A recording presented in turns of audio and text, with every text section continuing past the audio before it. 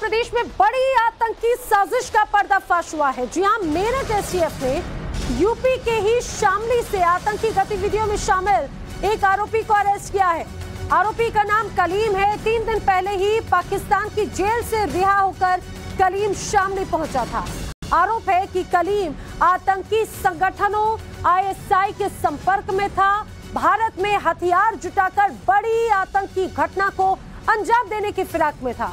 आरोपी युवक के पास से दो मोबाइल फ़ोन बरामद किए हैं। उर्दू में लिखे पाँच संदिग्ध पेपर्स मिले हैं और अन्य संदिग्ध सामान भी यहाँ से बरामद किया गया है।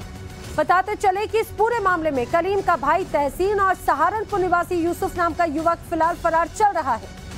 ये कलीम को फर्जी आईडी पर मोबाइल किससे मुहैया करवाते थे। फ़िलहाल पुलिस दोनों आरोपियों की तलाश कर रही है और कलीम से पूछताछ जारी है। देखिए कलीम नाम का एक युवक है। अभी रिसेंटली और उसकी फैमिली पाकिस्तान से छूट कर आए थे।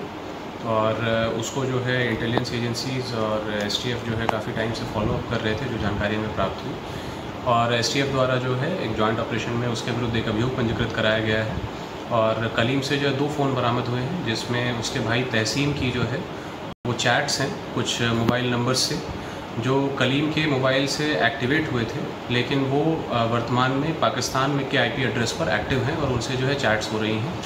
तो इससे जो है यह जानकारी मिली है कि वह जो है षड्यंत्रकारी गतिविधियों में संलिप्त था और यहाँ के जो है फ़ोटोग्राफ्स वगैरह भी उसने भेजे हैं, कुछ ऑब्जेक्शनेबल मटेरियल और ये दो मोबाइल फ़ोन्स फ़िलहाल उससे बरामद हुए हैं। और कलीम, उसके भाई तहसीन और एक अन्य व्यक्ति जो सहारनपुर का रहने वाला है, यूसुफ शमसी, जिसके जिससे लोग सिम प्राप्त करते थे, उसके विरुद्ध भी सुसंगत धाराओं में अभियोग पंजीकृत कार्रवाई अभियोग पंजीकृत किया गया है तथा विधिक कार्रवाई की जा रही है। तो आपने पुलिस अधिकारी को सुना किस तरह से यहाँ पर ये पूरा एक्शन लिया गया है। विनोद मिश्रा मेरे साथ ही, ज़्यादा जानकारी के साथ जुड़ रहे हैं। विनोद, हमने देखा है उत्तर प्रदेश में पिछले कुछ दिनों से इस तरह की गतिविधियों में संलिप्त या फिर फिजा को बिगाड़ने की साजिश रचने वाले लोगों पर लगातार कार्रवाई की जा रही है उत्तर प्रदेश पुलिस या फिर एसटीएफ की तरफ़ से। अभी क्या कुछ बातें सामने आई है जो शख्स कलीम पकड़ा गया है? आखिर उसकी मंशा क्या थी? क्या खुलासे हुए हैं? देखिए दो बड़ी बातें हैं। एक तो जिस तरीके से पिछले अगर पाँच साल की बात करें योगी सरकार की तो इन पाँच सालों में सैंतीस से ज़्यादा आतंकी संदिग्ध आतंकी जो है वो गिरफ़्तार किए गए हैं यूपी की जाँच एजेंसियों के द्वारा। हालिया गिरफ्तारी जो है, कलीम की हुई है। शामली का ये रहने वाला बताया जाता है और इसके पास से जो अभी तक मटेरियल बरामद हुए हैं, उसमें दो मोबाइल फ़ोन है, जिस पर कुछ चैटिंग्स है जो पाकिस्तान में कुछ लोगों से इसने किया है। जो जो सबसे बड़ी बात है, जिससे जिससे कहा जाता है कि आतंकी गतिविधि में शामिल था। उसमें इसके मोबाइल से कई सारे ऐसे फोटोग्राफ्स बरामद हुए हैं जिसने जिसे इससे पाकिस्तान में अपने हैंडलर्स को भेजा है, जिसमें खासतौर पर राफेल की तस्वीर है, जो अखबारों में छपी हुई है।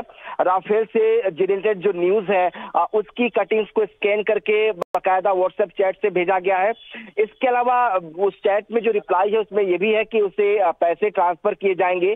तो ये तमाम जो चीज़ें हैं, वो इस- संदिग्ध आतंकी घेरे में खड़ा करती है इसीलिए इसे यूपी एसटीएफ ने गिरफ़्तार किया है।